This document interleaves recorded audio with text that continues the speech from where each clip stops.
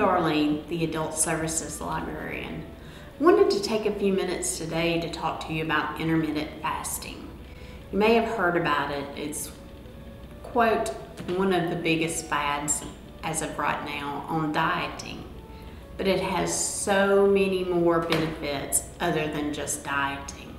I personally have been doing intermittent fasting for a year and a half now and cannot tell you how much better I feel. And on top of that, I've lost 60 pounds. So go me. But you might ask, what is intermittent fasting? Is you're spacing out periods of eating and periods of fasting. You might ask, how is it beneficial? How does it help me lose weight? Well, periods of fasting produce a net calorie deficit, so therefore you lose weight. It has been proven to help inflammation. That is one of the reasons that I started it. I have lupus and it's that's an, an inflammatory autoimmune disease. So that was the reason that I started it. And it has helped tremendously as far as just the inflammation pain. Um, it can lower cholesterol, blood pressure, and it lowers your glucose. Now, for that reason, probably everybody doesn't need to do intermittent fasting. Um, those that have problems with blood sugar um, dropping, you probably don't need to do intermittent fasting.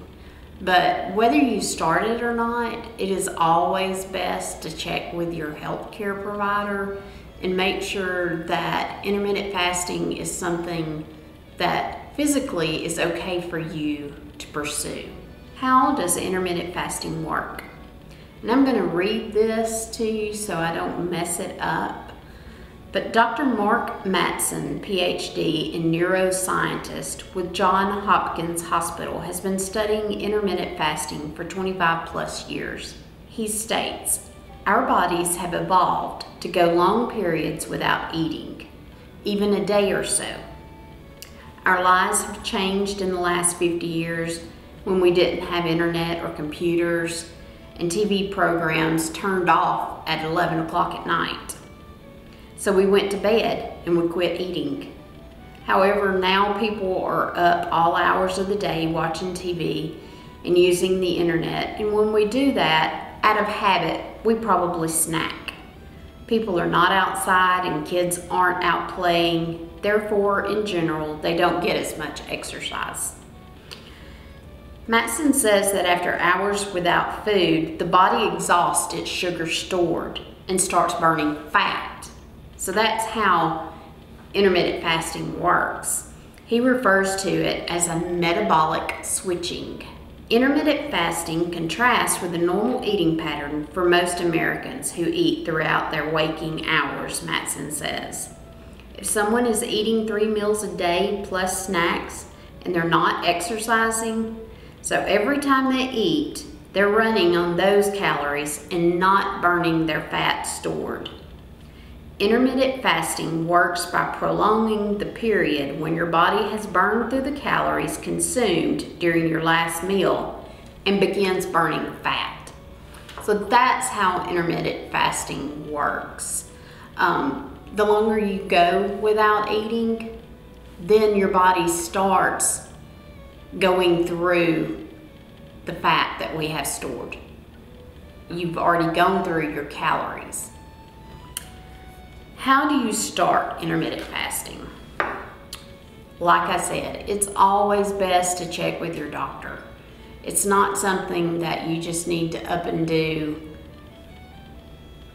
because of health reasons that you might have underlying or health reasons that you know of like I mentioned, blood sugar, um, anything like that that might be made worse by intermittent fasting. If you do choose plans, there are several types of plans of intermittent fasting. There's a 16-8, which means you eat over an eight hour period and you can choose whatever eight hour period that you want. If you think you can go to lunch 12 o'clock without eating and eat from 12 to 8 and then fast from 8 till noon the next day, you can do that. There's an 18-6 plan, which is what I do. I fast for 18 hours and then I eat sensibly in that six hour window. And you can choose whatever six hour window that you, that is beneficial for you. I like, I start eating between nine and 10 in the morning and then I'm through by three or four. Um, and then I don't eat anything else for the rest of the day. Now, saying that, water is your best friend. When they tell you that hunger is real, it is real. You are going to be cranky, irritable, hungry. You'll probably have headaches for the first couple of weeks. I, I was very irritable for the first couple of weeks when I started intermittent fasting. Now it doesn't bother me to not eat from three o'clock on.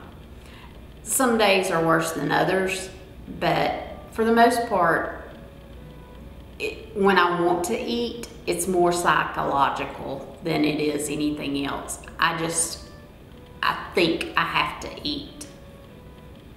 There's also the 5-2 plan where you eat sensibly and normally five days of the week, and then two days of the week you fast but fasting doesn't mean going that 24 hours without food.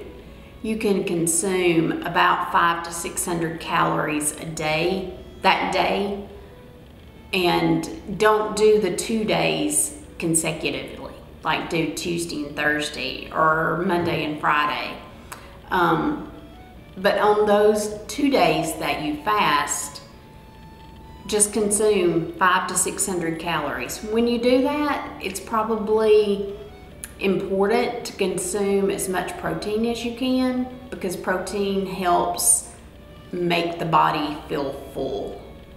Whatever plan you choose, it is important to eat sensibly. You can't go on your five days that you're eating or the six hour window that you're eating and eat a bucket of fried chicken and expect to have the benefits. You're still going to have to watch what you eat. You are able to eat more freely. Um, you don't have to necessarily stick to a certain diet to do this. It is beneficial for you to eat healthy though. Um, there is a 24 plan. I personally don't recommend this, but this is something you need to talk to your doctor about. This would be eating over a four hour period and fasting for 20. That may be an issue for people that don't even have glucose problems. Um, that could cause your sugar to drop so I highly recommend checking with your doctor first before starting that plan. Um, there is also one other plan. It's a 24 hour plan. Though it says um, 24 hour, what you're doing is you're eating one meal a day, whether it's breakfast or lunch or supper. You eat that one meal and then you don't eat again until that meal the next day. So you'll be consuming calories every 24 hours. You're just fasting 24 hours in between. And this is something that you don't want to do several days a week. You might just do one or two days a week. Um, who should not try intermittent fasting?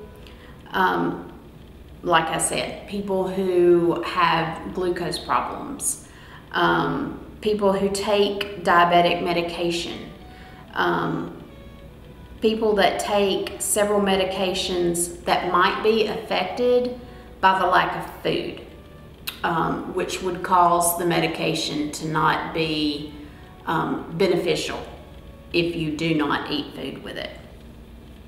Also, if you have a history of eating disorders, this might um, push you to have a relapse. What can you eat while doing intermittent fasting? Like I said, you can't go crazy while doing intermittent fasting. And during your eating periods, you can't eat a lot of junk food. You're not getting the benefits of intermittent fasting if you're just eating a Snickers bar and a Reese cup and a Kit Kat and a bag of chips and a Coke and a hamburger and fries and then not eating anything else for 16 hours. You didn't really accomplish anything.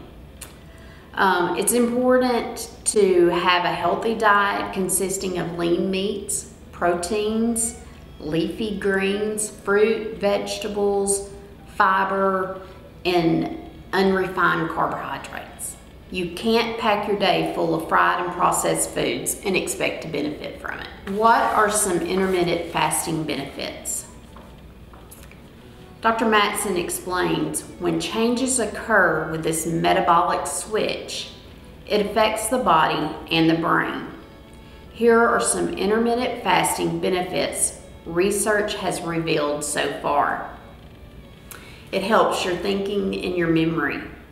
I have noticed that tremendously. It's like my body is not having to continually process this food when I'm fasting in my fasting period. I can think clearer. Heart health, blood pressure, arresting heart rate physical performance, and I can tell you from that one, that one is true. I don't feel sluggish. Um, I don't feel like, you know, how when you eat, you want to take a nap. I don't feel that. Um, tissue health and just overall feeling better. Overall, there are proven benefits from intermittent fasting. Just find a plan that works for you and stick with it. You may have to swap up and do the 5-2 plan or the 16-8 and you may find in the 16-8 that you know you're really not hungry at the end of that eight hours or you know before that eight hours is over. And you can swap back to the 18-6 it's good to trick the body. And I do that every now and then with mine. I will, some days if I've reached a plateau or something, I'll go and have a cheeseburger and fries and eat a little more fatty, high calorie foods. And it tricks the body into burning calories again or using that stored fat. But I have made these information sheets. You are welcome to stop by the library and we will give you one of these. If you have any questions at all on intermittent fasting, I would love to talk to you. My phone number is 256 831 1750 and I'm extension 7. If you want to email me, my email address is darlene.horton at oxfordal.gov. You can call me anytime if you have questions. Um, I would be glad to talk to you about it. Intermittent fasting has really changed my life in the last year and a half. Um, and I hope that if you decide to do it, it changes yours. Look for more of these spotlights that I'm wanting to do. If you have an interest or a hobby that you specialize in, contact me and I would love to interview you for a patron spotlight on things that you're passionate about, like the intermittent fasting for me. Um, just email me or call me. I will be glad to set up um, an interview with you and we will work around your schedule. anyway, I hope y'all have a great day and I look forward to hearing from you if you have started this intermittent fasting journey. Have a good day.